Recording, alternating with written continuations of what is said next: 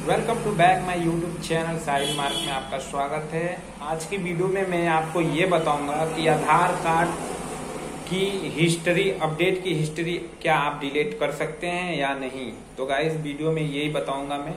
तो वीडियो शुरू करने से पहले अगर मेरे यूट्यूब चैनल पे नए हैं तो प्लीज़ सब्सक्राइब कर लीजिए और बेल आइकन को भी दबा दीजिए ताकि मैं आपको वीडियो पोस्ट करूँ तो आपको तुरंत नोटिफिकेशन पहुँचे। तो गाइज़ चलो वीडियो शुरू करते हैं। गाइस वीडियो को स्किप मत करना, नहीं तो आपको बिल्कुल समझ नहीं आएगा कि वीडियो में क्या मैंने बताया, आप कुछ भी समझ नहीं पाओगे। तो गाइस देखो क्या होता है।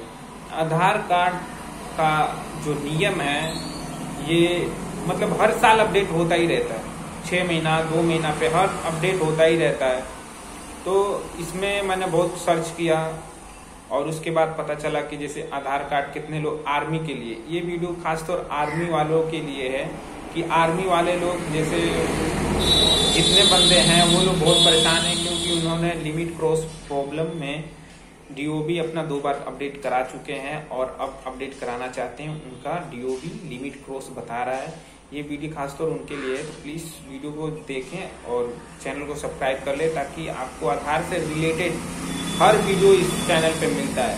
तो गाइस, क्या है कि आर्मी वाले क्या करते हैं कि वो अपना हिस्ट्री अपडेट तो करा लेते हैं, जैसे डीओबी अपडेट तो करा लेते हैं। बट वो लोग जब ज्वाइनिंग में जाते हैं तो उनकी आधार हिस्ट्री चेक होती है और वहाँ चेक होने के बाद उनको पता चल जाता है कि इन्होंने अपडेट कराया है। तो उनका मतलब जो ज्वाइनिंग होता है, उनका जॉब में दिक्कत आ जाती है, शायद जॉब भी नहीं लगता है।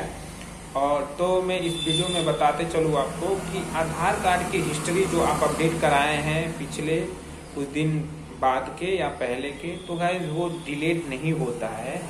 ये आप जहन में घुसा लें कि आप लोग सर्च करते हैं कि वो कितने वीडियो में लोग कमेंट कर रहे हैं कि सर मेरा आधार कार्ड का अपडेट हिस्ट्री डिलीट करा दीजिए। तो मैं आपको बताना चाहता हूँ गाइस कि आधार कार्ड का हिस्ट्री डिलीट नहीं होता है, जैसे है, वैसे ही रहेगा। तो इस बहन से आप दूर हो जाइए कि हमारा आधार कार्ड हिस्ट्री डिलीट हो जाए। तो गाइस आने वाले समय में हो भी सकता है, क्योंकि आधार का यूडीआई की तरफ़ से न्यू अपडेट आता ही रहता है। हमारे चैनल पे बने रहें, ताकि आपको हर अपडेट तुरंत पता चले।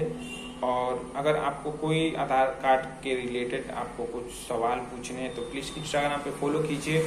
और मैं सबका रिप्लाई देता हूँ और चैनल को सब्सक्राइब कर लीजिए, ताकि मिलते हैं अगले वीडियो के साथ। भाई को दीजिए इजाज़त।